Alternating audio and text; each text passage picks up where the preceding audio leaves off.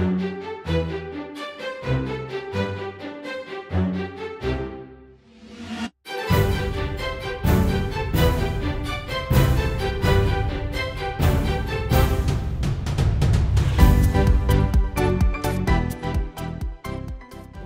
ကျွန်တော် discuss လုပ်မဲ့ topic ကတော့ what are some news and current recommendation in 2024 ADA standard scale for diabetes ထဲမှာ glycemic management ဖြစ်ပါတယ်ကျွန်တော် present လုပ်မဲ့ အပိုင်းကို group နှစ်ခုခွဲလိုက်ရင် part 1မှာ glycemic goals ပါမယ် diabetes technology hypoglycemia ပါမယ် part 2မှာတော့ pharmacological approach to glycemic treatment နဲ့ order adapt ဆိုပြီးတော့ပါပါမယ် glycemic goals ပေါ့ glycemic goals ဆိုပြောမယ်ဆိုရင်နှစ်တိုင်းထွက်တဲ့ EDA ကိုပြန်ကြည့်လိုက်ရင်2018မှာဆိုရင် glycemic goal တို့ target တို့ပြောရင် A1C ကို focus လုပ်ပြီးပဲပြောတယ်ပေါ့2019ကျတော့ကျတော့ diabetes technology ဆိုတဲ့ chapter အသစ် ပါလာခဲ့တယ်အဲ့ဒီမှာ CGN အကြောင်းနဲ့ insulin delivery အကြောင်း intro လေးပဲပါတယ်ပေါ့2020ရောက်တော့ကျတော့အာ diabetes technology ကိုတည်ချာချာရေးလာတယ် CGN အကြောင်းကို types တွေရော sample of ambulatory glucose report တွေရော insulin အကြောင်း delivery system အကြောင်းတွေပါပေးစိတ်ရေးလာပါတယ်ဟော2024အထိကို ဟို diabetes technology ကိုဆက်ပြီးရေးပါတယ်ဗျ glycemic control assess လုပ်တဲ့နေရာမှာ area 3ခုနဲ့ assess လုပ်လို့ရတယ် HbA1c measurements က blood glucose monitoring BGM ပိုင်း capillary device ပေါ့ glucometer နဲ့တိုင်းတာရှိမယ်နောက်ပိုင်းမှာ technology ခေတ်ရောက်လာတဲ့အတွက်ကြောင့်မလို့ continuous glucose monitoring system ပေါ့ CGM သုံးပြီးတော့တိုင်း range ရောက်လာမရောက်လာဆိုတဲ့စကားနဲ့ပြောလာကြတယ်ပေါ့နော်အဲ့တော့ target diabetes ဟို control control လုပ်တဲ့ treatment လုပ်တဲ့အချိန်မှာ target ကအာရန်စကားပြောပါတယ် non pregnant adult with diabetes မှာ target မှာဆို A1C less than 7 pre-prandial capillary glucose က80 to 130 pre post prandial capillary plasma glucose က less than 180ပေါ့ဒီဒီ target တဲ့ဝင်အောင်ရောက်ဖို့ရောက်အောင်ကုဖို့အရေးကြီးပါတယ်ဒီ target ကတော့မပြောင်းပါဘူးဒီကတော့ ADA endorse လုပ်တဲ့ A1C နဲ့ estimated average glucose ကို correlate လုပ်တဲ့ဇယားလေးပါ အာ patient တယောက်ကို HbA1c 7အောက်ထားမယ်ဆိုရင်ဘယ်လိုဘယ်လို patient မျိုးကို A1c 7အောက်ကို strict control ထားမလဲဘယ်လို patient မျိုးကို less strict control ထားမလဲဆိုတာ patient ကဘယ်လောက်ထိ hypoglycemia prone ပိုဖြစ်လဲပေါ့နော်သူတို့ရဲ့ drug side effects ဘက်ကိုဘယ်လိုမျိုးပိုတွေ့မလဲ disease duration ကဘယ်လောက်ကြာပြီလဲ newly diagnosed လား long standing လား life expectancy ရှိသေးလား comorbidity နဲ့ vascular complication တွေဘယ်လောက်များလဲပြီးတော့ patient ရဲ့ individual needs နဲ့ preference တွေနဲ့ resources တွေပေါ်မှာမူတည်ပြီးတော့တိုက် control လုပ်မလားမလုပ်ဘူးလားဆိုတော့ design လုပ်တယ်ဒီ slide လေးကလည်းမပြောင်းပါဘူးအဲ့တော့ diabetes technology လို့ပြောမယ်ဆိုရင်တော့အော်ကျွန်တော်တို့ဟို blood glucose monitoring လုပ်နေတဲ့အဲ glucometer နဲ့တိုင်းတာတဲ့ one of the technology ပါပဲ continuous glucose monitoring device ကိုနောက်ပိုင်းမှာအဲ CGM target တွေနဲ့ပြောလာပါတယ်နောက် insulin delivery system ဆိုပြီးပါပါမယ် blood glucose monitoring ဘယ်လိုလူမျိုးတွေကို ဟို blood glucose monitoring လုပ်မလဲဆိုတော့ individualize ပါပဲ patient circumstances တွေ preference တွေ treatment ပေါ့နော် OH တောင်းနေတဲ့လူလားအမှန် insulin ထိုးနေတဲ့လူလား insulin ထိုးနေတဲ့လူဆိုရင်ပို့ပြီးတော့ monitoring လုပ်ရမယ် pre meals တွေကိုလုပ်မလား post meal ကိုလုပ်မလားအာ driving မှာလုပ်မလား pre exercise post exercise during exercise မှာလုပ်မလားဆိုတာဒါ individualize preference နဲ့ကိုယ့်ရဲ့ attending physician ရဲ့ decision ပေါ်မှာမူတည်ပြီးတော့ glucose monitoring frequency ကို ဆုံးဖြတ်ပါတယ် patient က CGM သုံးနေတုံးတော့သုံးနေတယ်ဆိုတော့ blood glucose monitoring ကလုပ်ပေးဖို့လိုပါတယ်အနောက်ပိုင်းကျရင် CGM ပြောင်းလဲပြောတဲ့အချိန်ကျရင်ဘာကြောင့်မလို့ blood glucose monitoring လုပ်တယ်ဆိုရပြောပြပါမယ်အ head professional တွေက glucometer တစ်ခုနဲ့တစ်ခုကြားထဲမှာအာ accuracy ကွာတယ်ဆိုတာကို awareness ရှိရှိဖို့လိုပါမယ် device တစ်ခုနဲ့တစ်ခုအဖြေနည်းနည်းကွာနိုင်ပါတယ် US FDA ကတော့သူတို့ FDA approve လုပ်ထားတဲ့ device ကိုပဲသုံးဖို့ recommend လုပ်ထားတယ် test strip တွေကိုလည်း unexpired test strips ကိုသုံးဖို့ရယ်ပြီးအဲ့ဒီ test strips ကို properly store လုပ်ထားတဲ့ strip တွေဖြစ်ဖို့ဆိုတာလည်း recommend လုပ်ထားပါတယ်။အာပြီး direct exposure sunlight ဖြစ်တယ်ဆိုရင်တော့အဖြေတွေမှားနိုင်တယ် test strips ပြတ်သွားပြီးတော့အဖြေတွေမှားနိုင်ပါတယ်။အာ continuous glucose monitoring what are the what, what is the continuous glucose monitoring ဆို continuous glucose monitoring ဆိုတော့ तू ကဒီရှေ့မှာ skin ရဲ့အောက်မှာ interstitial glucose ကို sense လုပ်မဲ့ thread လေးပါပါတယ်ဒါ needle လိုမျိုးပေါ့နော်ဒါပေမဲ့ needle မဟုတ် thread ပေါ့နော်အဲ့အဲ့နောက်မှာမှာ glucose ကို sense လုပ်မဲ့ device လေးပါမယ်အဲ့ဒီ device ကနေထုတ်လွှတ်မဲ့ signal ကို display ဖော်ပြမဲ့အဲ device monitor device လေးလိုမယ်ဒါမှမဟုတ်ရင်အဲ့ဒီ glucose monitor လုပ်တဲ့ device ကို scan လုပ်မဲ့ smartphone လိုမျိုး device တစ်ခုလိုမယ်ပေါ့နော်အဲအဲ့ဒီ system တစ်ခုလုံးကို continuous glucose monitoring system လို့ခေါ်ရတယ်ပေါ့ continuous glucose monitoring ကဘာကို sense လုပ်လဲဆိုတော့ interstitial glucose ထဲမှာရှိ interstitial fluid ထဲမှာရှိတဲ့ glucose ကို sense လုပ်တာ every 5 minutes မှာ sense လုပ်ပေးတယ်အဲ့တော့24 hour duration ဆိုရင်288 readings ရပါတယ်အဲ့ဒီနောက်ပိုင်းမှာပြမဲ့ graph တွေကအဲဒီ24 hour duration မှာ288 reading ကို set လိုက်တဲ့အချိန်မှာ graph line တွေထွက်လာပါတယ်သူကအဖြေဘယ်လောက်မှဘယ်လောက်တင်မှဖတ်တယ်ဆိုရင်2 to 22 millimole တင်မဲ့ read လုပ်ပါတယ်အဲ့တော့အကြမ်းမြင်ပြောမယ်ဆိုရင်40 to 400 mg per deciliter ပေါ့နော်အဲ့ဒီအောက်ရောက်သွားရင်အဲ့ဒီ400တဲ့များသွားရင်သူကမဖတ်ပေးပါဘူးအော်ဒီ CGN ရဲ့ လုံးဖတ်ပေးတဲ့ glucose ကရှေ့မှာပြောခဲ့တဲ့ပဲ interstitial glucose ဖြစ်တဲ့အတွက်ကြောင့်မလို့ကျွန်တော်တို့ glucometer နဲ့စစ်တဲ့ capillary glucose နဲ့ time lapse ရှိပါတယ်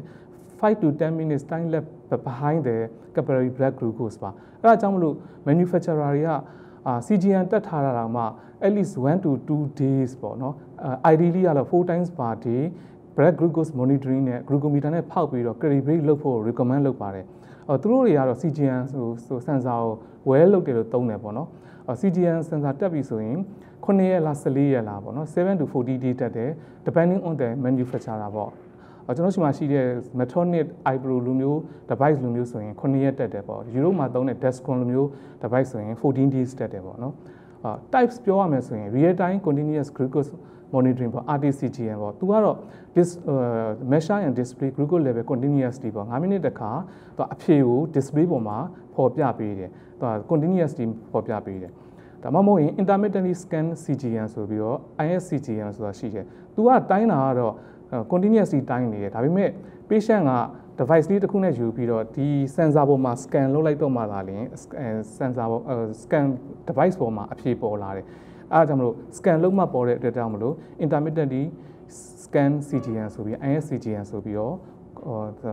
နောက်တစ်မျိုးရှိပါတယ်နောက်တစ်မျိုးကတော့ professional continuous glucose monitoring ပေါ့နော်အာသူကစာ retrospective CGN လို့လည်းခေါ်တယ်သူကနာမည်အတိုင်းပဲ professional ကပိုင်တာပေါ့နော် diabetology ဒါမှမဟုတ်ရင်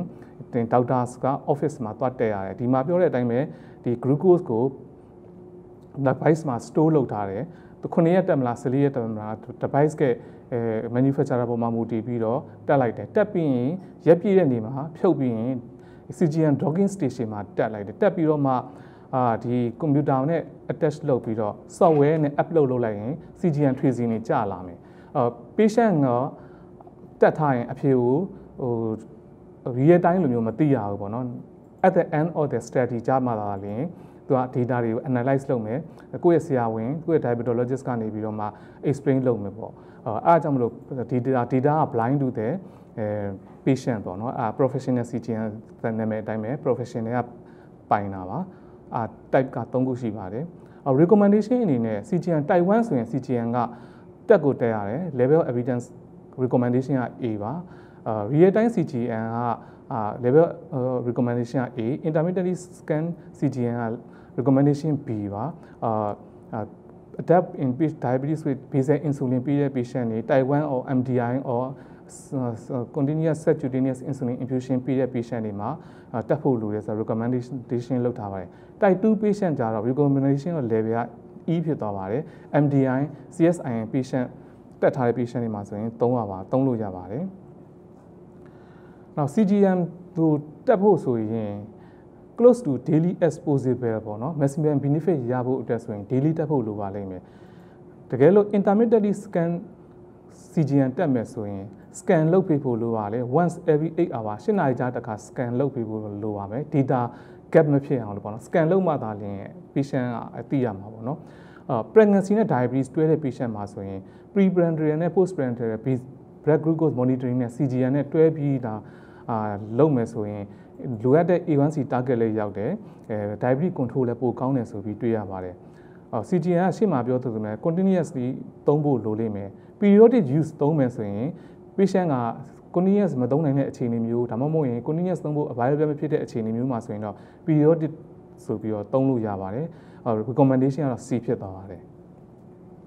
ဒီက CGN နဲ့ပတ်သက်ပြီးတော့အော် CGN matrix ပါ CGM metric ဆိုတော့ number of CGM device days ကို won လုပ်တဲ့ဥစ္စာကတော့14 days ဝယ်တယ်ပေါ့နော်ဒါ depends on manufacturer ပါတချို့ device တွေက9ရက်ပဲဝယ်လုပ်လို့ရတယ် percentage of CGM active ဖြစ်ဖို့အတွက်က70%လောက်ရှိဖို့လိုလိမ့်မယ်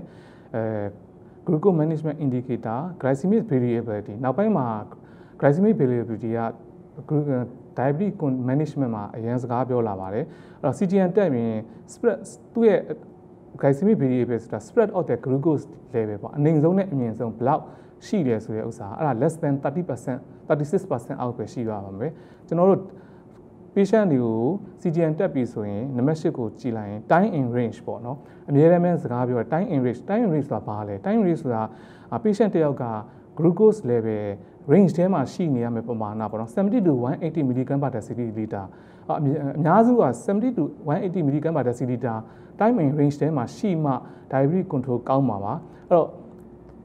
24 hour မှာဆိုရင် more than 70%လောက်ရှိရမယ် for most adapt ပေါ့ order adapt ဆိုရင်တော့ more than 50%လောက်ရှိရမယ်အဲ့ဒီတဲ့မြင့်သွားရင်181 to 250 mg per deciliter ဟာ level 1 hyperglycemia လို့ခေါ်တယ် level 1 hyperglycemia less than 35% for more adapt နဲ့ less than 50% for order adapt ဆိုပြီးတော့သတ်မှတ်ထားပါတယ် more time above range မှာ more than 250 mg per deciliter ဆို level 2 hyperglycemia ပေါ့ level 2 hyperglycemia က less than 5% in most adult နဲ့ less than 10% for older adult ပေါ့နော်အော်ဒါလို့သတ်မှတ်ထားတယ်ဒါက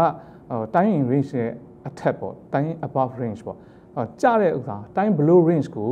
ဟို54 to 69ပေါ့နော်အဲ့ဒါ level 1 hypoglycemia ကြတော့ less than 4% for most adult နဲ့ less than 1% for older adult သတ်မှတ်ထားတယ် level 2 hypoglycemia ဖြစ်တဲ့ less than 54 mg per deciliter ကတော့ဟို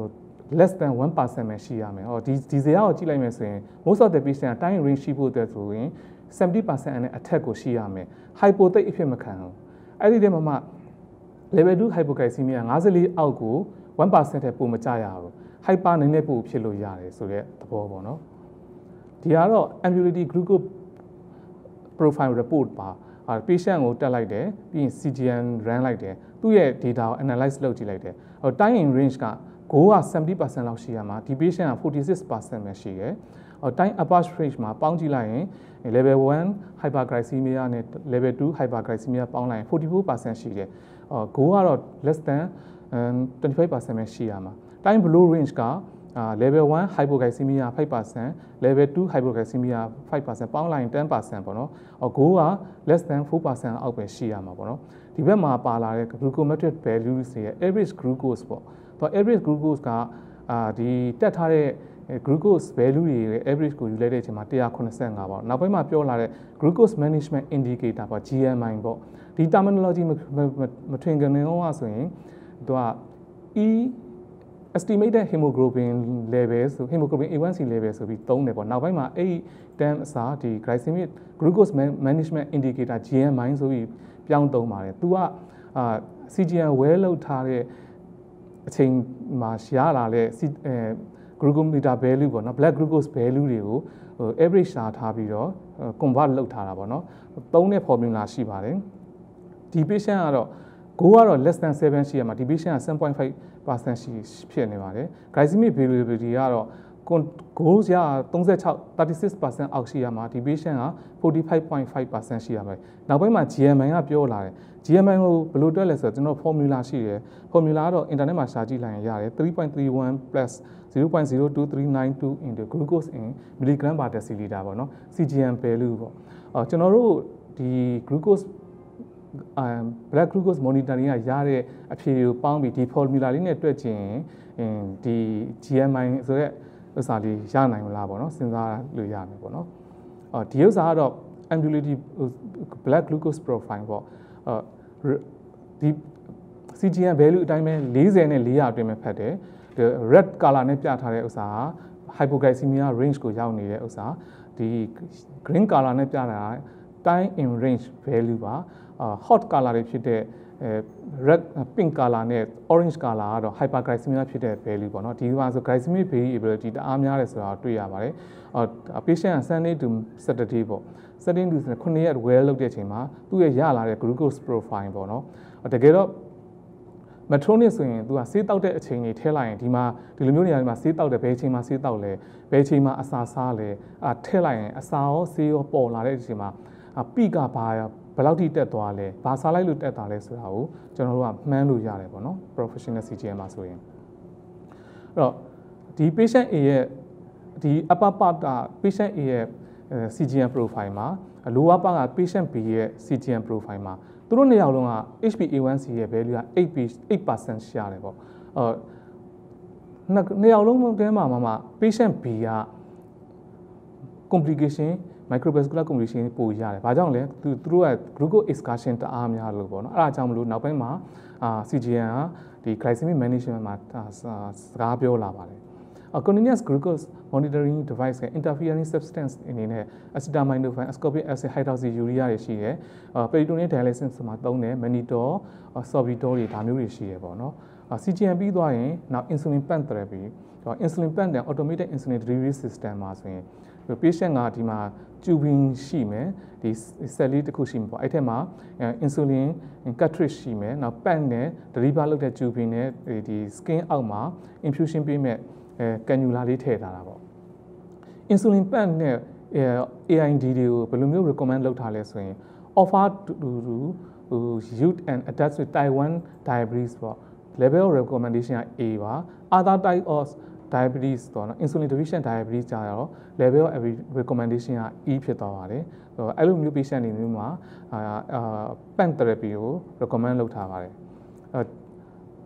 နောက်တစ်ပိုင်းကじゃ hypoglycemia ပေါ့နော် hypoglycemia လို့ပြောမယ်ဆိုရင်2070လောက်ထိကိုကျွန်တော်တို့ကအာ glucose alert value 80အောက်ကျရင် glucose alert value လို့သတ်မှတ်ထားပြီးတော့အာ level 1လို့တော့သူရေးသေးတယ်ဒါပေမဲ့ရှေ့မှာ glucose alert value လို့ခေါ်တယ်54အောက်ဆိုရင် significant clinically significant hypoglycemia လို့ခေါ်ပြီးတော့အာ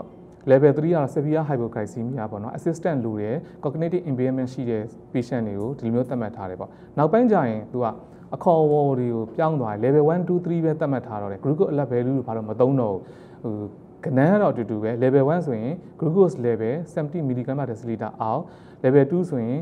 54 mg per deciliter အောက် level 3ကတော့ cognitive impairment ရှိတယ် hypoglycemia ကို treat လုပ်ဖို့ correct လုပ်ဖို့အတွက် assistant လိုတယ်အဲ့လိုမျိုး stage တွေကို level 3လို့ခေါ်တယ်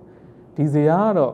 ဟိုနောက်ထပ်အသစ်ထပ်ထည့်ထားတဲ့ဇာတ်ထွက်လာတဲ့ဇာတ်ပေါ့နော် assessment of hypoglycemia rate among individual treated with insulin sulfonylurea or meglitinides ပေါ့နော်အဲ့တော့ clinical and biological risk factor အနေနဲ့ major risk factor definition တွေက recent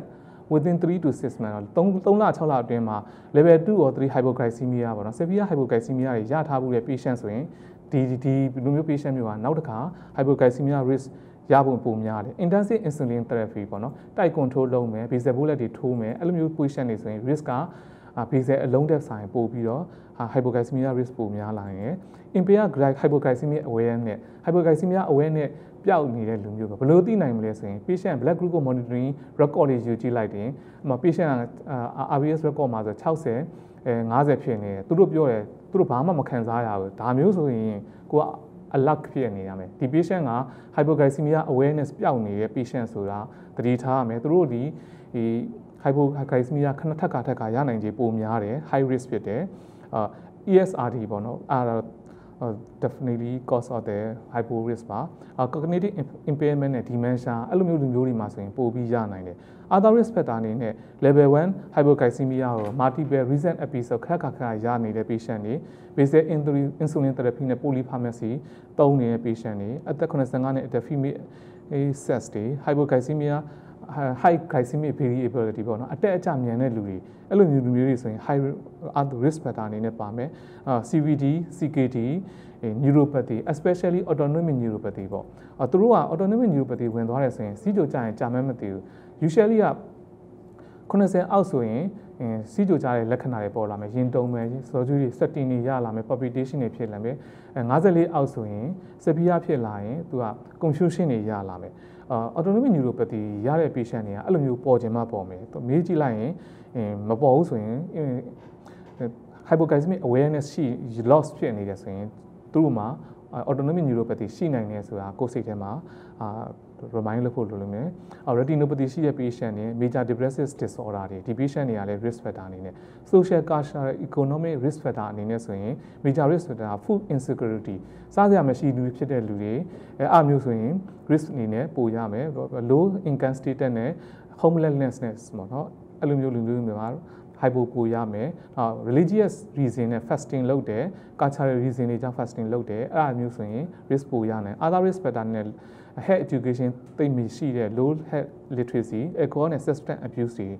ရရနိုင်ပါတယ်အာကျွန်တော်ရဲ့ discussion မှာ part 1ကပြီးသွားပါပြီနောက်နောက်ထပ်က part 2ပေါ့ part 2ကိုပြောမယ်ဆိုရင် pharmacological approach to glycemic treatment ပေါ့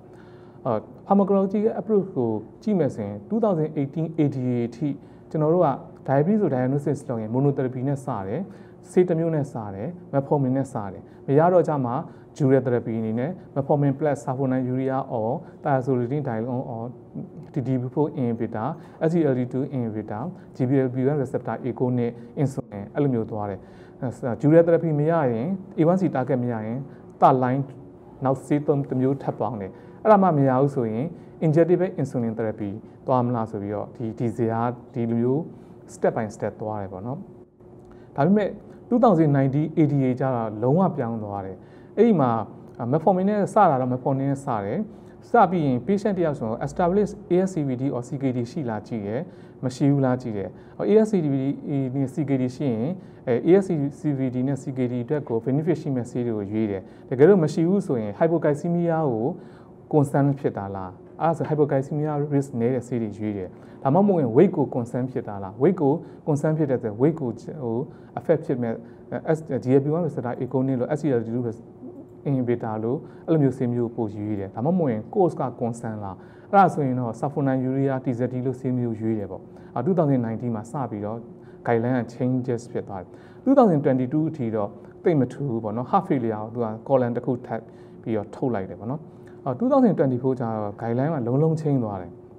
လုံးလုံးချင်းသွားတယ် patient ကအာ diabetes patient ဆိုတာဒါနဲ့ healthy lifestyle endorsement ဆိုတာ DSMB ရေနောက်ကြတော့ support of social determinants of health ဒါတွေလုပ်မယ်လုပ်ပြီးသွားပြီးရင် ASCVD risk ရှိလားမရှိလားပေါ့နော်အရှိမှာတော့ ASCVD ရှိလားမရှိလားပဲပြောတယ်ဒီ2024မှာ what are the ASCVD ဆိုပြီးတော့ဒီ day ပြောထားတယ် ASCVD ဆိုတာ CVOT but all included with established CVD ပေါ့ MI stroke any revascularization procedure ပေါ့ကျွန်တော်တို့က ASCVD လို့ပြောပြီးဆိုတော့ usually ကတော့ ACS နဲ့ IHD လို့ ASCVD လို့ယူသူရပေါ့ stroke ကြတော့ ASCVD လို့ဒီခါကြီးကြရင်မေ့နေတတ်တယ်ပေါ့နော်။ variable ဘာမှဘာတွေပါသေးလဲဆိုတော့ TIA တွေပါတယ် unstable angina amputation symptomatic or asymptomatic coronary artery disease ဆိုပြီးတော့2024 guideline ကအတိအကျရေးလာတယ်ပေါ့နော်။ amputation ဆို usually က ASCVD တော့တိတ်မထင်တတ်ဘူးပေါ့နော်။ဒီမှာဆိုရင် coronary artery disease တွေမကဘူး stroke တွေ TIA amputation တွေကပါ ASCVD ရှိ definition အောက်ထဲမှာဝင်နေဆိုတာကိုမှတ်ထားရမယ်။နောက် indicator of high risk အနေနဲ့အသက်55နှစ်အထက်အပေါင်း2 or more additional risk factor အဲ့ဒါတွေကတော့ obesity hypertension smoking dyslipidemia albumin urea ပေါ့အော်ကျွန်တော်တို့ရဲ့ patient တွေမှာများသောအားဖြင့်အသက်55နှစ်အထက်ဆိုရင်ဒီဟာမျိုးနှစ်ခုပါဖို့ကတိတ်မနှဲလာဘူး obesity hypertension smoking dyslipidemia albumin ဒါရှိဖို့ကပိုများတယ်ပေါ့နော်အဲ့လို high risk ရှိပြီဆိုရင် ASCVD နဲ့ရှိလား indicator high risk ရှိလားအဲ့ဒါရှိပြီဆိုရင် GLP-1 receptor economic prevent CVD risk benefits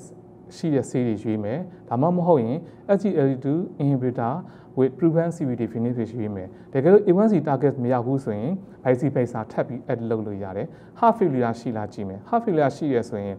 symptom current ရှိတာလား prior symptom ရှိတာလား with heart failure reduce ejection fraction နဲ့ heart failure preserve ejection fraction ဖြစ်နေတာလားပေါ့အဲ့ဒါမျိုးဆိုရင် SGLT2 inhibitor with prevent CVD benefits heart failure benefit ရှိတဲ့ဆေးကိုရွေးမယ်ဒါမှမဟုတ် CKD ရှိလား CKD ဆို EGFR less than 60နဲ့ ACR albumin creatinine ratio more than 3ပေါ့အဲ့ဒါလည်းရှိရဆိုရင်အဲ့ patient က maximum tolerated dose of ACI ARB ပေါ်မှာယူထားပြီးသားဖြစ်ရင် preferably SGLT2 receptor inhibitor with proven CKD benefits ရှိတဲ့ဆေးကိုသုံးမယ်ပေါ့နော်အဲ့ဒါပြီးတော့မှ A1C target ရလားမရလားပြန်ကြည့်မယ်ပေါ့ဒါကတစ်ချမ်းပေါ့နောက်ဘက်တစ်ချမ်းမှာဘာပါလဲဆိုတော့ achievement and maintaining of glycemic and weight management goal ဆိုပြီးတော့နောက်တစ်ချမ်းပြန်ပါလိုက်အော် glycemic management မှာဆိုရင် choose appropriate approach that provide the efficacy to achieve goals ပေါ့နော်အဲ့မှာ metformin or agent including combination therapy that provide adequate efficacy to achieve and maintain glycemic goals ရမယ်ဆေးတွေရွေးပြရမယ်အဲ prioritize the avoidance of hypoglycemia in high risk individual ပေါ့အဲ in general အနေနဲ့ကတော့ higher efficacy ရှိတဲ့ဆေးတွေမှာဆိုရင်အဲ efficacy of glucose lowering very high ဖြစ်တဲ့ဆေးတွေက sim အာ duraglutide hydro semaglutide tazibratide တွေရှိမယ် insulin ရှိမယ် combination oral combination injectable GLP-1 receptor agonist insulin တွေရှိမယ် high အနေနဲ့ကတော့ GLP-1 receptor agonist not listed above တဲ့ metformin SGLT2 inhibitor sulfonate urea DZT intermediate action တွေကတော့ DDP4 inhibitor ရှိမယ် weight management goals ကိုရဖို့အတွက်ဆိုဘာလုပ်ရမလဲဆို set individualized weight management goals ပေါ့နော် personalized individualized goals ထားဖို့လိုလိမ့်မယ် general lifestyle advice အနေနဲ့ medical nutritional therapy eating pattern physical activity တွေကိုဟို advice လုပ်ပေးရမယ် consider medication for weight loss ပေါ့နော် intensive evidence based structures weight management program ပေါ့ patient တယောက်အတွက်ကို structure လုပ်ထားတဲ့ plan ရှိရမယ် metabolic surgery consider လုပ်လို့ရတယ်သူ့ရဲ့ BMI ပေါ်မှာမူတည်ပြီးတော့ when choosing glucose lowering therapies consider high to very high dural glucose and weight efficacy ပေါ့ weight က concern ဖြစ်လာတဲ့အချိန်မှာဆိုရင် glucose ကို lower လုပ်ဖြစ်စေတဲ့ဆေးအဲ weight ကိုလည်းချပေးနိုင်မဲ့ဆေးမျိုးကိုရွေးပြဖို့လိုလိမ့်မယ်အဲ့မှာ very high efficacy နဲ့ semaglutide နဲ့ tazibratide ရှိမယ် high efficacy ရှိတဲ့ဆေးက duraglutide နဲ့ duraglutide ရှိတယ် intermediate action က GLP-1 receptor agonist not listed above နဲ့ SCL2 receptor inhibitor ဆိုပြီးရှိမယ် neutral ဖြစ်နေတဲ့ဆေးကတော့ DPP4 inhibitor နဲ့ metformin ရှိမယ်အဲ့ပြီးကျွန်တော်တို့ A1C target ရောက်လာကြည့်မယ်မရောက်ဘူးဆိုရင် GLP-1 receptor or dual GIP and GLP-1 receptor အရင်ကမသုံးထားဘူးဆိုရင်အဲ့ဒီ individual တွေမှာသုံးမယ် A1C target ရောက်လာပြန်ကြည့်မယ်မရဘူးဆိုရင် basal insulin ထည့်မယ် basal insulin မှာ basal analog တွေရှိတယ် basal NPH တွေရှိမယ်တကယ်လို့ basal ထည့်လို့မှအာ control မရသေးဘူးဆိုရင်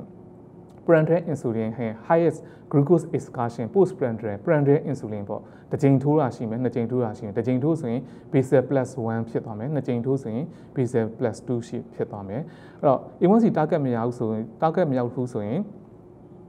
အင်း basal bolus region ပြန်ဖြစ်သွားမှာပေါ့နော်အဲ့ပြီးရင် odor attach ပေါ့ oral adapt ကို chapter တစ်ခုအနေနဲ့ဘာလို့ discuss လုပ်ရလဲဆိုတော့ကျွန်တော် adapt medicine မှာဆိုရင်ညီမကြီးမှာဆိုရင်တွဲရရင် above ကအားလုံးကအာ physician တွေရဲ့ adapt medicine ရဲ့ under care မှာရှိမှာအဲ့ဒါကျွန်တော် oral adapt ကြတော့နည်းနည်းလေး general general diabetes patient နဲ့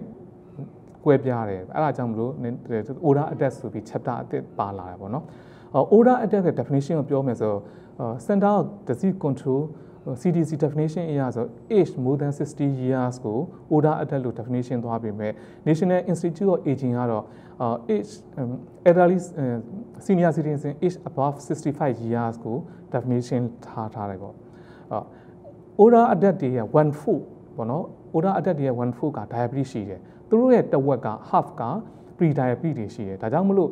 ဟို older adult တွေကို care လုပ်တဲ့နေရာမှာအာ ပို့ပြီးတော့ focus လုပ်ရမယ့် point လေးတွေရှိတယ်။ oral attack တွေ high risk of functional disability တွေရှိနိုင်တယ် muscle loss တွေရှိနိုင်တယ်သူတို့မှာ comorbidity နဲ့တွဲနိုင်တယ် CKD CAD stroke တွေရှိနိုင်တယ် cognitive impairment နဲ့ depression တွေရှိနိုင်တယ် urinary incontinence force တွေ muscle pain တွေ frailty တွေ polypharmacy ဒါတွေရှိနိုင်တယ်အဲဒါကြောင့် ADA က recommend လုပ်ထားတာကတော့ older attack ပေါ့ age 65 years of age ပါ initial basis လာရင် and screening for early detection of mind cognitive impairment or dementia ရှိမရှိကို screen လုပ်ရမယ် annually ကိုပြန်ပြီးတော့ screen ပြန်လုပ်ရမယ်ပြီးရင်လိုရင်လိုတယ်လို့မျိုးပြန်ပြီးတော့ screen လုပ်ပြီး treatment ပေးရမယ် hypoglycemia hypoglycemia နဲ့ပတ်သက်ပြီးဆို order attack with type 1 diabetes ဆိုရင် CGM တက်တဲ့နဲ့ recommendation က A ပါ order attack with type 2 diabetes on insulin therapy ဆိုရင် CGM တက်လို့ရတယ် recommendation က B သူတို့တက်ချင်းအပြင် hypoglycemia ကို reduce ပြန်လုပ်ပြီးလို့ရတယ်ပေါ့နော်အဲ့တော့ type 1 patient in order attack ဆိုရင် insulin pump therapy AID system ကို deliver လုပ်ရမယ်အဲ့တော့ treatment ကို treatment goal လို့ပြောမယ်ဆိုရင် category တွေပြန်ခွဲပေါ့ healthy လားပေါ့ patient က healthy ဖြစ်တယ်အသက်က older adult age က more than 65ဖြစ်ပေမဲ့သူတို့မှာ chronic illness တိတ်မရှိဘူးလူက mobile ဖြစ်နေတယ် cognitive function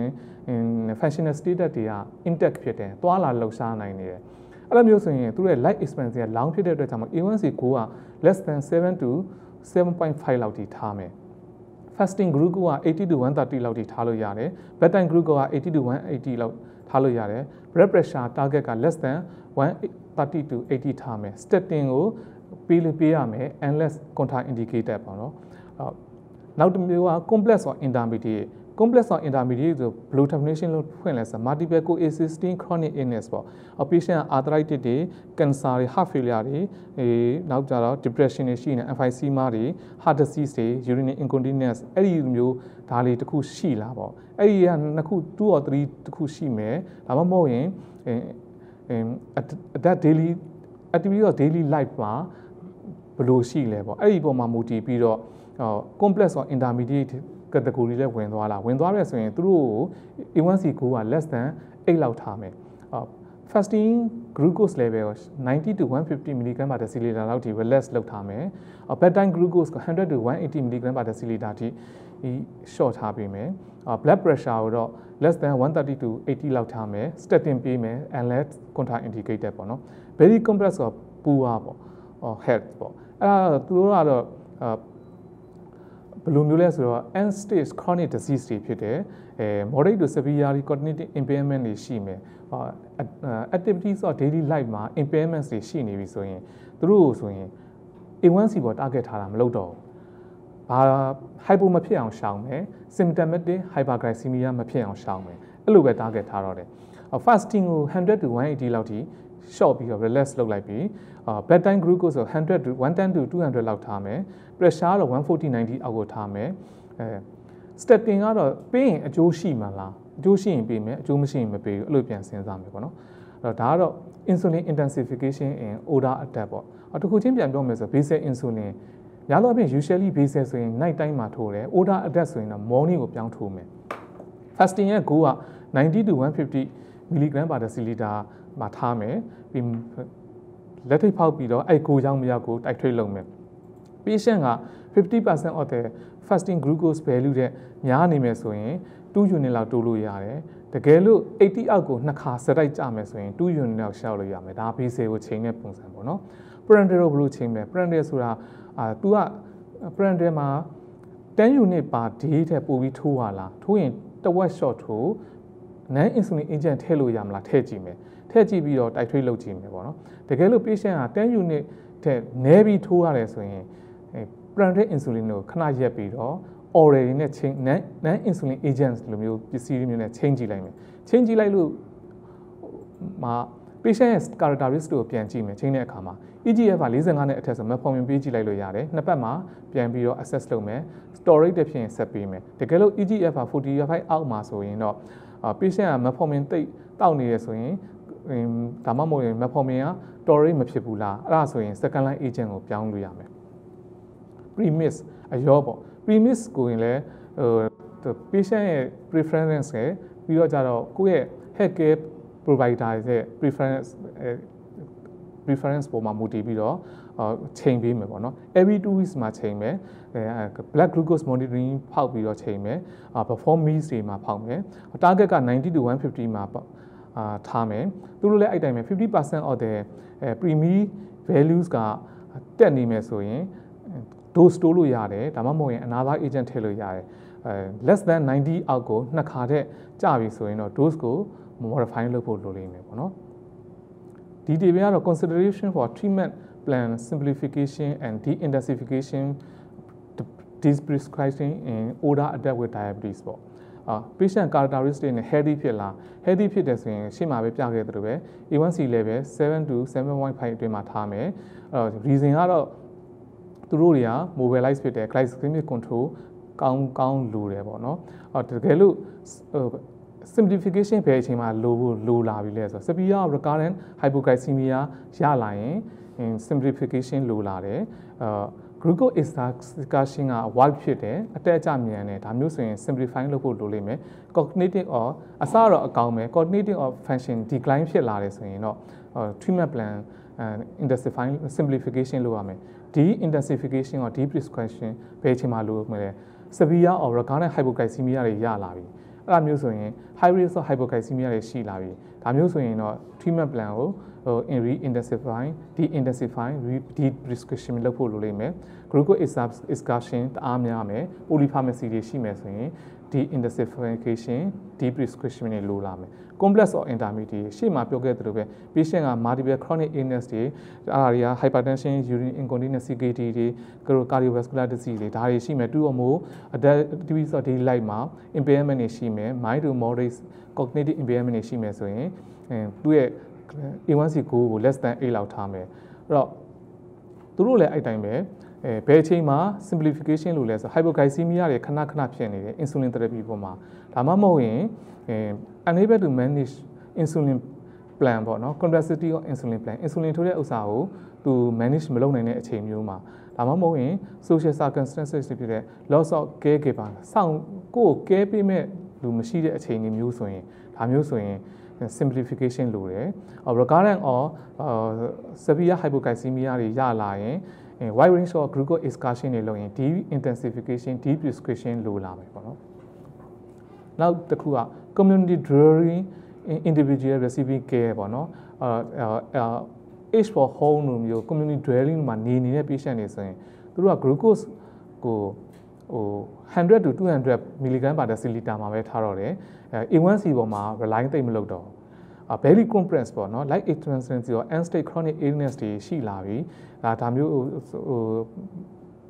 အာ cognitive severe cognitive impairment တွေရှိလာပြီဆိုရင်သူတို့လည်း A1C ပေါ်မှာ rely မလုပ်တော့ဘူး။ hypoglycemia မဖြစ်အောင်ရယ် severe symptomatic hyperglycemia မဖြစ်အောင်ရယ်ပဲခြားပြီးတော့ treat လုပ်မယ်ပေါ့နော်။ end of the life end of the life ဆိုရင် patient က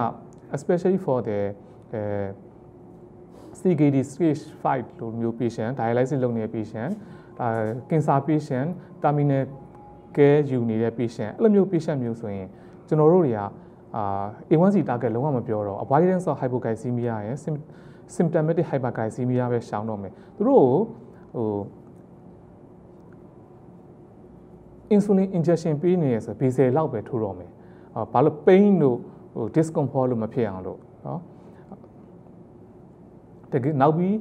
patient မှာ benefit မရှိတဲ့ဆေးတွေအကုန်လုံးဆိုရင်ဘာဆေးမှမပေးတော့ဘဲနဲ့ benefit ရှိတဲ့ဆေးတွေပဲပေးတော့မယ်ပေါ့နော် intensify ပြန်လုပ်မယ်ပေါ့နော်နောက်ဆုံးကတော့ order order attack တွေမှာ pharmacological therapy တွေတဲ့ကိုဆေးတကူချင်းအနေနဲ့ဘာတွေပြောလဲပေါ့နော် metformin ဆိုရင် EGFR 30အောက်ဆိုရင်သုံးလို့ရတယ်သူ့မှာ organ function impairment ဖြစ်နေ hepatic function impair heart failure impair ဖြစ်နေတတိထားရမယ်အဲ procedure တွေလောက်ခံနေပေါ့နော် iodine contrast study တွေလုပ်မယ်ဆိုရင်ရပ်ဖို့လိုလိမ့်မယ်အဲ GI side effect တွေတအားဆိုးလာတယ် appetite တွေ low ဖြစ်လာတယ်ဆိုရင် metformin သုံးမလားမသုံးဘူးလားဆိုတော့ပြန်စဉ်းစားဖို့လိုလိမ့်မယ် long term ပြီးရင် B12 deficiency နဲ့ elderly တွေမှာပိုတွဲတယ်ဆိုတာတွေ့ရတယ်။ Thalazolone dione ပေါ့နော် TZD အနေနဲ့အဲ usually older patient တွေမှာတိတ်ပေးလိပေးတာမရှိဘူး။ especially for post menopausal women တွေမှာဆိုရင် osteoporosis risk ရှိတယ် fall ရှိတယ် fracture ရှိတယ် heart failure တွေဖြစ်နိုင်တယ် macular edema တွေရှိနိုင်တဲ့ကျွန်တော် TZ တွေသုံးမယ်ဆိုရင်တတိထားရမယ် insulin security code ဆိုတာ should be used with caution လို့ပြောတာတတိထားသုံးရမယ်သုံးရင်လည်း duration action တိုးတဲ့ glipizide လိုမျိုးဆေးမျိုးသုံးလို့ရတယ် incretin base ပေါ့ DPP4 inhibitor ကတော့ side effect နည်းတယ် minimal risk of hypoglycemia ရှိနေတယ်ဒါပေမဲ့သူတို့က cardiovascular ပေါ်မှာ neutral ပေါ့နော်ကောင်းလည်းမကောင်းဆိုးလည်းမဆိုးပေါ့ GLP-1 receptor ကတော့ပေး injection ဖြစ်တဲ့အတွက်ကြောင့်မလို့ visceral motor or cognitive skill ကောင်းဖို့လိုတယ်အဲတကယ်လို့အဲ့ဒီ patient တွေမှာ elderly patient မှာ unexplained weight loss တို့ gastroparesis တို့ GI problem လို့ရှိနေပြီဆိုရင် GLP-1 receptor agonist လိုမျိုး injection ဆေးမျိုးဟာတိတ်သုံးဖို့မတင်ဘူးပေါ့နော် SGLT2 inhibitor တွေကကြတော့ volume depletion တွေရတယ် UTI နဲ့ခဏခဏဖြစ်တယ်အဲ worsening of the urinary incontinence ဖြစ်တဲ့အတွက်ကြောင့်မို့ elderly patient မှာသုံးမယ်ဆိုရင်တတိထားဖို့လိုလိမ့်မယ်အဲ caution with individual who depends on care keeper ပေါ့ကိုယ့်ကို view site နိုင်မဲ့လူတွေရှိတယ်ဆိုရင် volume ကိုဟို replace ပြန်လုပ်နိုင်တယ် UDI မဝင်အောင် care လုပ်နိုင်တယ်ဒါမျိုးဆိုရင်တော့ SCL2 inhibitor တွေကသုံးလို့ရတယ်ဒါပေမဲ့ patient က fry ဖြစ်နေရဲ့အဲပပောင်းဖြစ်နေရဲ့အဲ့လိုမျိုးဆိုရင်တော့တိတ်မသုံးသင့်ဘူးဟိုဒီဇာလေးနဲ့ပဲကျွန်တော်ရဲ့ဒီ glycemic target ကိုဟိုညီကုန်းချုပ်ချင်ပါတယ်နားထောင်ပြီးတဲ့ဆရာဆရာမမအားလုံးကိုကျေးဇူးတင်ပါတယ်ခင်ဗျာ